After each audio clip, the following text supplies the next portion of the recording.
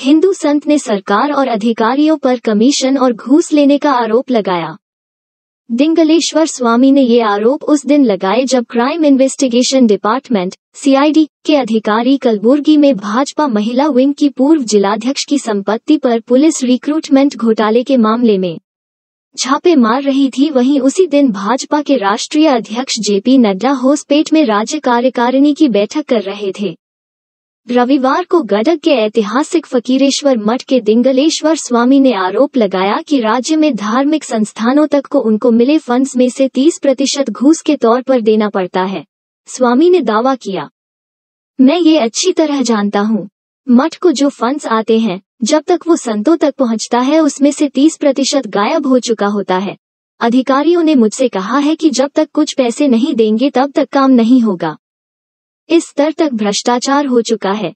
400 साल पुराने धार्मिक संस्थान के लिंगायत संत, जो गडग में धार्मिक सद्भावना बनाए रखने में अग्रणी रहे हैं, ऊपर से नीचे तक कैसे फंड्स घूस के तौर पर चला जाता है?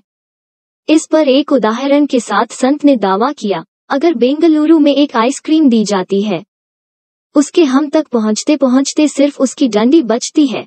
गडक के ऐतिहासिक फकीरेश्वर मठ में हिंदू और मुस्लिम सभी धर्म के लोग जाते दिंगलेश्वर स्वामी ने आरोप उस दिन लगाए जब सीआईडी के अधिकारी भाजपा महिला, विंग की पूर्व जिलाध्यक्ष से जुड़ी संपत्ति पर छापे मार रहे थे, जो कि पुलिस रिक्रूटमेंट घोटाले से संबंधित है।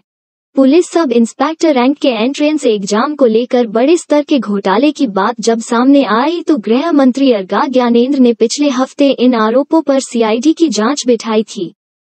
रविवार को सीआईडी के अधिकारियों ने भाजपा महिला विंग की पूर्व जिलाध्यक्ष दिव्या हागरागी के कलबुर्गी स्थित घर पर छापा मारा। हालाँकि हागरागी अब तक फरार है और सीआईडी ने इस घोटाले को लेकर उनके पति राजेश को गिरफ़्तार किया है। भाजपा हागरागी से खुद को दूर कर रही है और बार बार ये कह रही है कि वो पार्टी की सदस्य नहीं है। मुख्यमंत्री बोम्बई ने सोमवार को कहा कि जो भी इस कथित घोटाल में शामिल होगा उस पर कार्रवाई की जाएगी।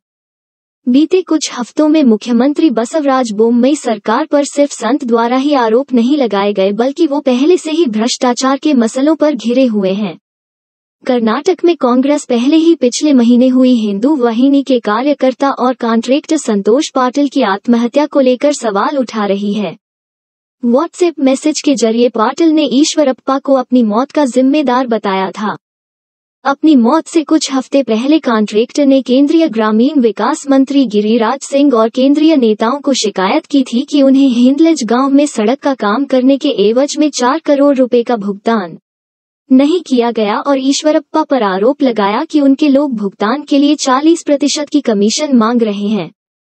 इन आरोपों के बाद पिछले हफ़्ते ईश्वरप्पा को बोमई सरकार से इस्तीफा देना पड़ा।